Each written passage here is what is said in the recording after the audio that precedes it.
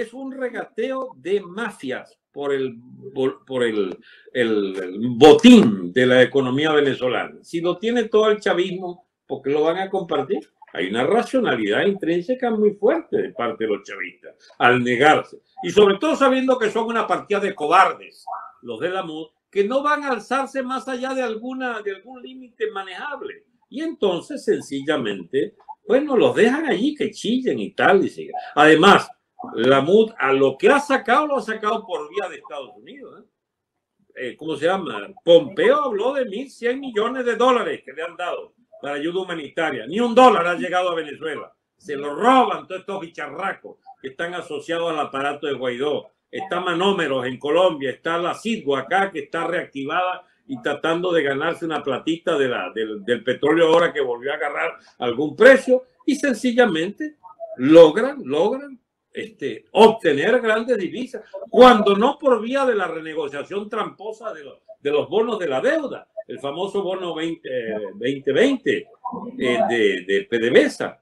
Todas esas cosas van a las mesas de negociaciones y el gobierno, el gobierno de Trump, sin quererlo el propio Trump, dejó actuar ahí un tal Bolton, que era un, un malamañoso allí que armó esas componendas con Vecchio y Abram, Abraham, etcétera, para lograr pingües negocios con los negocios de la Esto es lo que saca, de, ¿cómo se llama? El malandrín Diosdado y me pone, él corta todo lo que tenga que ver con el chavismo y me deja en todo lo que critico de la oposición o estas noticias de que hay, digamos, negocios turbios de la propia clase política americana con la MUD. Bueno, mala suerte. En todo caso, ya sabemos que Diosdado es de los grandes reyesuelos del AMPA de Venezuela. Lo que no aceptaban los venezolanos es que estemos dirigidos en la oposición por otros reyesuelos de AMPA opositora. Porque es que todos son de la misma calaña, todos son parte de la pérdida de Venezuela, todos nos han hecho víctimas a 30 millones de habitantes de ese negociado turbio, de esa élite corrupta, hipercorrupta de la oposición y más aún corrupta del gobierno, que resolvió cogerse ese país como si fuera un negocio particular de ellos para hacer fortuna. Y a la prueba me remito, ¿cuántos multimillonarios hay en el pueblo? Ninguno.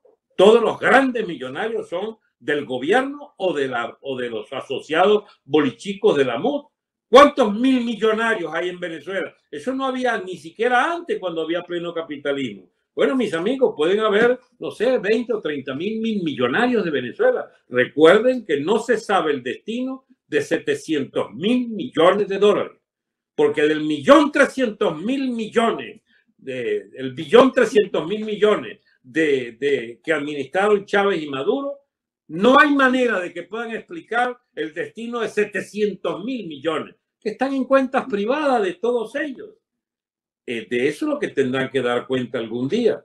Pero esa historia es la que está en el fondo de qué es lo que se negocia. ¿Qué quiere rapiñar la MUD? ¿Qué quiere rapiñar Guaidó? ¿Qué quiere rapiñar Caprilito? ¿Qué quiere rapiñar este, las propias mafias internas del chavismo? Ahí anda peleando Ramírez, por ejemplo, contra Maduro. Ramírez, y tú tienes que explicarnos qué hiciste con el fondo chino, chico, y cómo le cuidaste la fortuna a las hijas de Chávez que estaban bajo tu cuidado. Son miles y miles de millones de los que tiene que rendir cuenta Ramírez. Y todo, cada uno de los sectores del chavismo es lo mismo. De manera que esta historia de qué es lo que se negocia, para nosotros está claro hace tiempo qué es lo que se negocia. Es el botín de Venezuela. ya sabemos que se lo robaron todo. Ahora, ¿cuál es el plan que tienen cada uno? Porque lo que yo sé es que en política eso tiene unas reglas particulares que solo se resuelven es a tiros. Y no hay tiros a la vista de esos dos grandes sectores. Hay operaciones tramposas basándose en la diplomacia internacional que querrán de alguna manera interferir en el proceso político interno proceso político hipercorrupto y comprometido absolutamente con las más innobles causas.